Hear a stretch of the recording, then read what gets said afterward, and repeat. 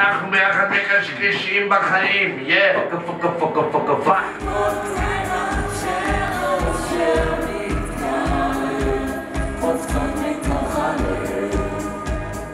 אני משקשק ומשמח ביחד. כאילו אני פעם ראשונה בחיים מופיע.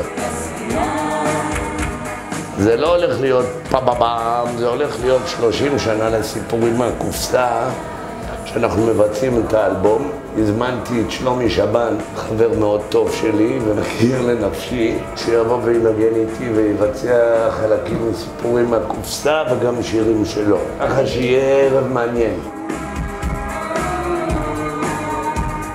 האנרגיה שלנו נמצאת כבר שם, אנחנו טעונים, את רואה? באנו לפה בסופר היי אנרג'י, מה שנקרא, כולם, כל אחד בדרכו שלו. המפגש עם הקהל הוא הניצוץ, ויש לי הרגשה שיש לנו קהל מצוין. אני רוצה להופיע בים, ים נראה לי מקום מדליק מאוד להופיע בו, או על ראש הר, הר שבלתי אפשרי להגיע אליו. ואם מוחמד לא יבוא אל ההר, אז אה, את יודעת. תחשבו על זה, נשמות תאומות.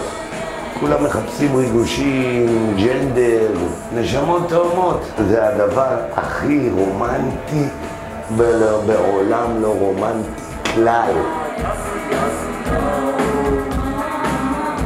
קודם בריאות, שיהיה לי כוח לתת לכם בראש ולשמוע ולהאזין לאלבום החדש שלי שעוד לא כתבתי ואני אין לי מושג איך הוא נשמע, אבל אני שומע אותו כבר בראש.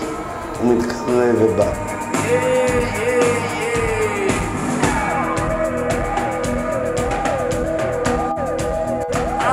solo